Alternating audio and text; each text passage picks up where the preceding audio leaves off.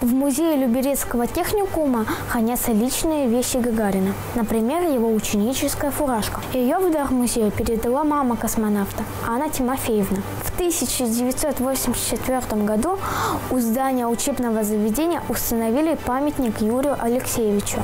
Его скульптор Анатолий Новиков. Он изобразил космонавта, стоящего на звездном пути. Точная копия памятника с 2011 года находится на бульваре Мэл в Лондоне. Англичане долго выбирали, какую именно скульптуру Гагарина установить в своей столице. Смотрели более 200 памятников. Выбрали тот, который стоит в Люберцах около техникума. Здесь молодой Юра учился на литейщика. Было предложение взять скульптуру в Люберцах и перевести ее в Лондон. Но люберчане решительно были против этого. Тогда сделали точную копию для Лондона. А жители и гости Люберец могут увидеть памятник Гагарину, когда проезжают по Октябрьскому проспекту. Памятник Юрию Гагарину – один из символов нашего округа.